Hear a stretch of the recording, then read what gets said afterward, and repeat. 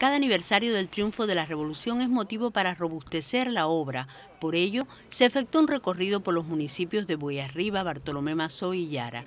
Tania Heredia, miembro del Buró del Partido en Granma, junto a las autoridades locales, partidistas y gubernamentales, visitaron diferentes centros con el objetivo de evaluar el estado de obras en construcción y la inauguración de otras.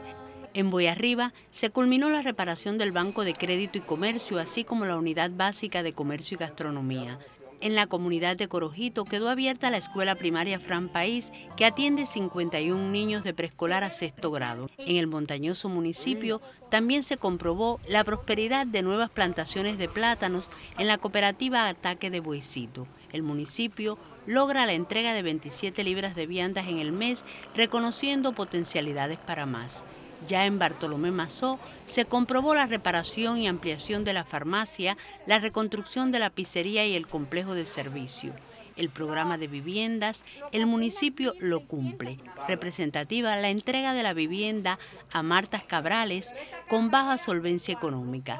El montaje tecnológico del secadero de arroz avanza, inversión que humaniza el trabajo y asegura eficiencia. Asimismo, se recorrió el área de la caridad tierras recuperadas ya en producción para el autoabastecimiento local, el desarrollo de la telefonía celular en la zona de la montaña de las Mercedes se garantiza con la instalación de una radio base que permite conectividad en casas, unidades de servicios, como parte de la informatización de la sociedad.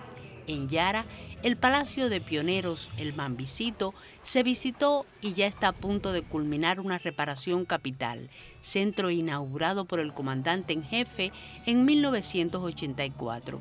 También se reparó el local de salud pública y se entregó por subsidio una vivienda a una familia con tres niños. El recorrido reafirmó que cada enero es un enero de victorias.